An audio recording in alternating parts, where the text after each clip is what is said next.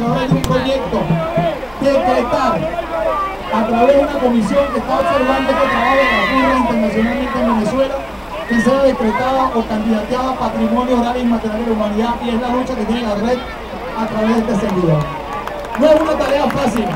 Ustedes son los que tienen que comportarse en la parranda, porque cuando vengan a evaluar, la gente de la UNESCO va a decir, esto sí merece verdaderamente ser patrimonio oral e inmaterial de la humanidad. Porque en el caso de otras manifestaciones, cuando ven el desorden que no va de acuerdo a la tradición, echan el trabajo para atrás. Entonces es importante que estemos claros en eso y ahorita vamos a tratar de que ustedes puedan ver un poquito de las diferenciaciones de estas burlas. Porque esta es parte de un aprendizaje, un intercambio de saberes.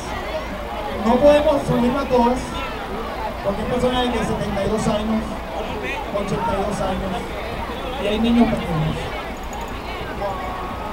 Si tuviéramos esa tarimota que tenemos allí habilitada, la cosa hubiese sido más productiva.